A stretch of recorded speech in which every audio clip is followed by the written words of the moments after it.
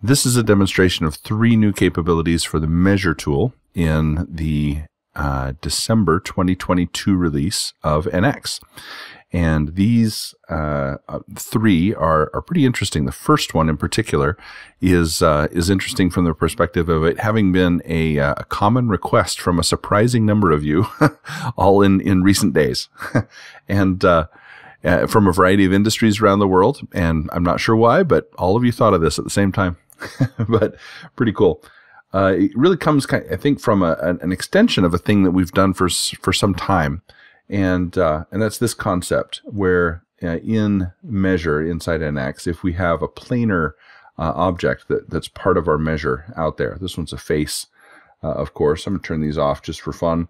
Uh, we've got a planar face participating, whether it's the first object or one or the second object out here um, and we select something else, uh, by default, of course, our, our result there is going to be a, a, minimum distance between those objects, right? Uh, and we've had an optional result here that's been available for some time that's a minimum perpendicular result. And, and again, what this is going to do is, is actually do uh, kind of a virtual extension of this planar object, uh, whether it's a, a, datum or a face uh, out there needs to be planar, of course, uh, but this is going to measure from that second object to the virtual extension of this, this planar object.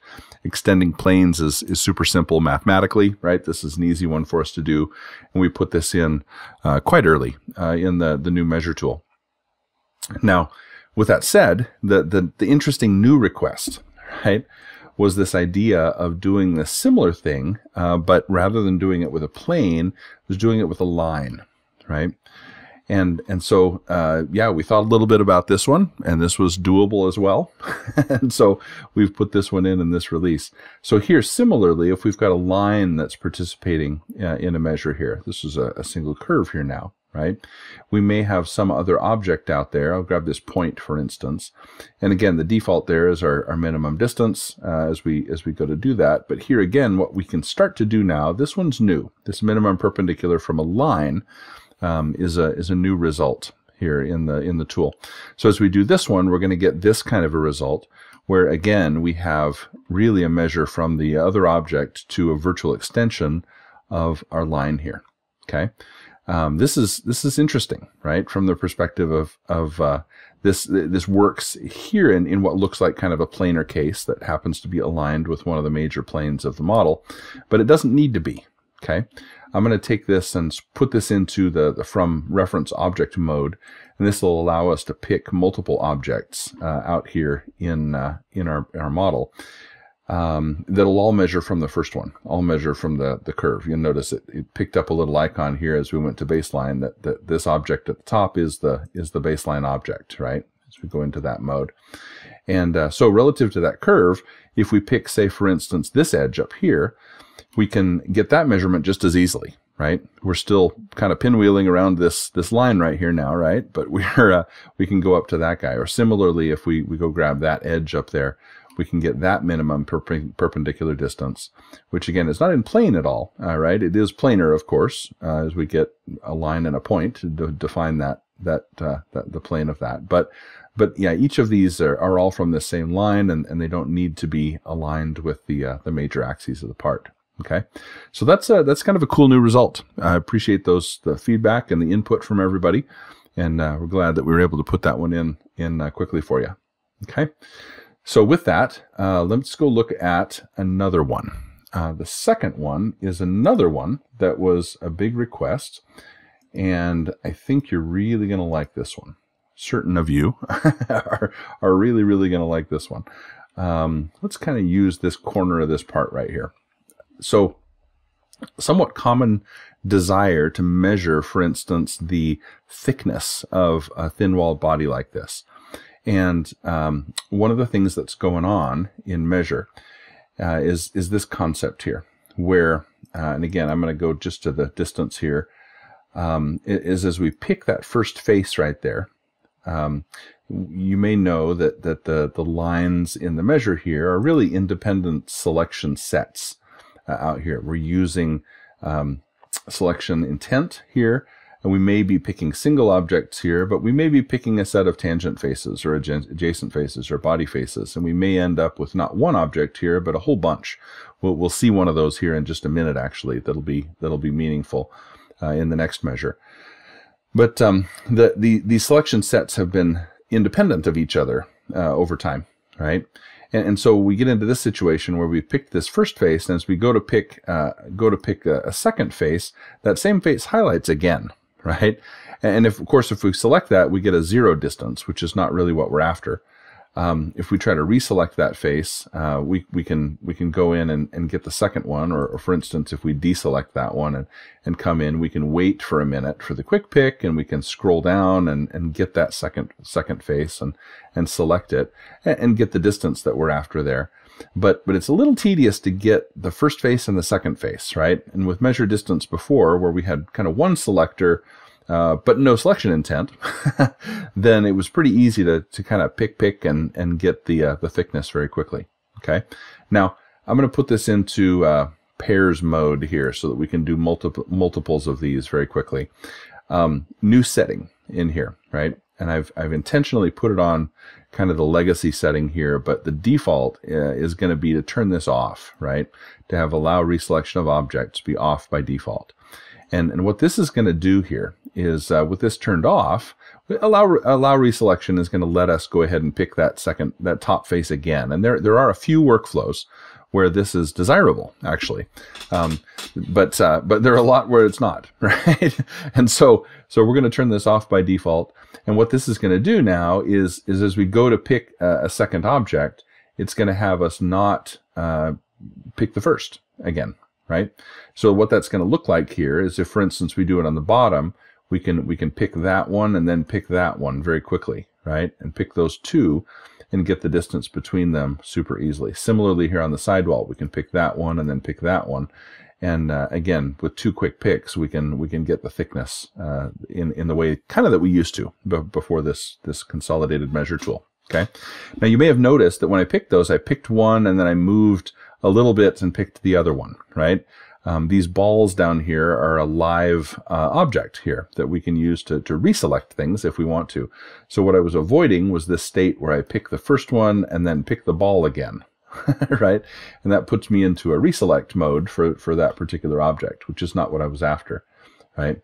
And so what, what again, what would recommend there is that you uh, pick one, move just a little bit so you're not on the ball, right? And then you can pick the second one and uh, and very quickly start to get those thicknesses okay that are useful. So again um, hope this one's uh, I think I think you'll really like this one. Uh, this will be off again by default in NX 2212 and uh, and we'll we'll have a behavior here that's much more similar to to the the way it used to be here for uh, getting distances for for thin-walled objects okay? All right uh, with that let's come out of there and get the last one here. Let me actually bail out of this part and uh, the last one as well. I think you're going to be super excited about. And this one is another one that's been asked for for roughly 20 years. and uh, and we finally figured out how to do this one and and uh, really helped to be in the new measure framework here to, to put this one together finally. Um, we've had in NX for many, many years um, the ability to come in here in advanced mass properties and do this uh, very, very old command area using curves that could get us some 2D section properties, right, for uh, a, a, closed set of 2D curves. Um, we have a slightly newer one that's called section inertia. This command similarly could go in and, and do that. Um, the challenge has always been that neither of these commands were associative, that both of these created non-associative results. And, and we had uh, a number of you that have asked over the years for the ability to make that 2D section analysis be associative, to be able to create expressions for, for things like section inertia and uh, equivalent rectangular sections and things like that, uh, so that you could start to use those in optimizations, for instance. So as parts parametrically change, that, that section analysis could update, and you can start to use that in a, in a loop, for instance. So we've done it finally. so that's in there. Um, I want to go look at one of these guys here. So an easy, easy case is a thing like an I-beam, right? a lot of these you can just look up, right? you know all the properties of these here. But but I'm going to take a look at, at how we can do this creating. Oh, we can do this again. It, it does need to be planar, this section. So it it it uh, any any closed set of planar curves can be used for this. They don't have to be an intersection curve. Um, they don't have to be a sketch. Uh, we also can use a set of planar uh, face edges here to do this analysis as well. So if we come in, uh, I'm going to turn on uh, the others here uh, on this guy. And uh, in this case, and let's and let's go in and take a look at what's there actually. So if we look in the others out here, um, you'll see that we've got yeah centroid and the the second principal moments of inertia. These are those section uh, area uh, sections, and then the section length and area that are out there that that'll be part of this analysis, right?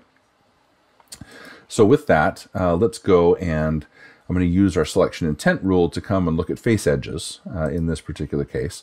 And we'll come and grab that edge that's part of that top face.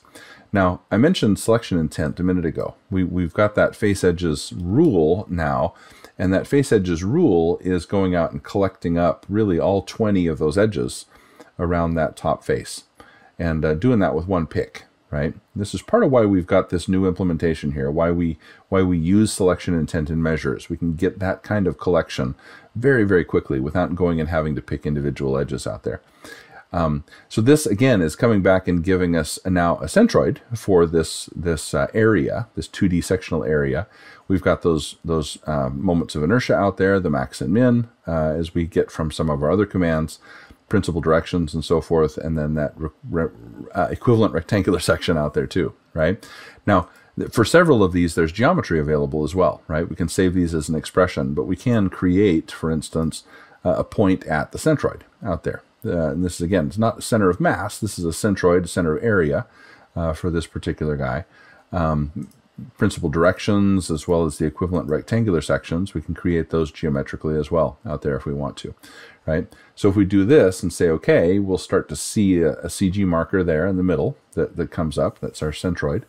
Um, these lines here are going to be our principal directions and of course our equivalent rectangular section here in this case, right? And this one's, again, this is the, the easy case where we've got um, everything planar. Uh, it's all nice and, and right there on the end of the beam. And, uh, and it's one that we, we kind of know the answer for already, right? Um, if we want to come in and, and, create a section at a new location, we certainly could do something like this, where we put in a datum plane on curve and, and put this at some arbitrary location out there, right? And then come in and do, for instance, an intersection curve uh, between, say, uh, this body. We'll grab, uh, actually, let's not do face. Uh, oh, this does want to do face.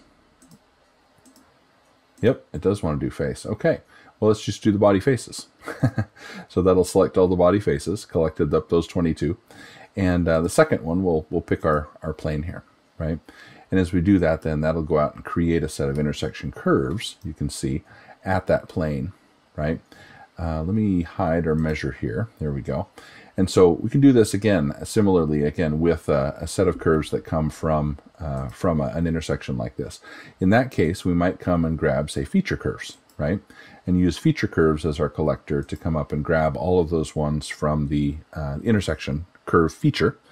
And, uh, and that'll give us uh, a very similar answer here, given that we have a uniform cross section, right? And, uh, and again, we can create that section and, and, and go forward. Okay. Now this is the, the easy one, right? Sometimes we want to do these kinds of analyses on much more complex parts and uh, much more complex sections, right? So this particular one uh, has a lot of internal detail, of course, and, uh, and I've created these curves, in this case, not using an intersection curve feature. These are kind of standalone curves. I actually use the view section commands uh, in here, and, uh, and there's an option in view section to, if we look at that, to, uh, to create some section curves and to, to save a copy of the section curve. So this has created a non-associative uh, copy of those section curves that, again, are sitting out on the end of my, my clipping plane. Um, but I can use those to, to do an analysis here, right? So for instance, I could come and, and window uh, select those, right? It is planar. And uh, again, come in and do our measure. Uh, might filter here to say, yeah, I'm probably good here uh, for, for uh, grab an object set here and uh, say that we want to go, yeah, we're grabbing some single curves and just go select that set of curves right there, right?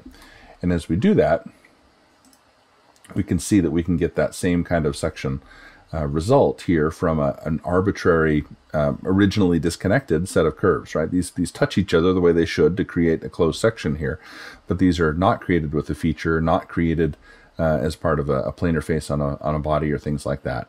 Um, even picking individual curves, we can still get that, that nice um, 2D section properties, right?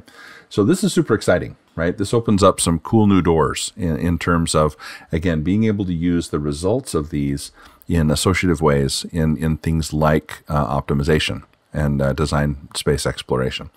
So uh, we're super excited about that. Again, we know that's a huge one that's been requested so many times uh, over the years, over honestly a couple of decades, right? And uh, and the new measure has made it uh, relatively easy to to go and put that in, create uh, a new set of results here that uh, we think will be useful for you. Okay, good. So those are the those are the three here for uh, this release that I wanted to show you. There's that minimum perpendicular distance from a line, that one's new. The uh, allowing the reselection of objects uh, or or preventing the reselection of objects, really, as we do things like uh, quick uh, thickness measurements, and then the associative 2D section inertia properties. Right? Uh, we're excited about these. We're we're we know that certain of you are also excited about them, and we hope you find these very very useful.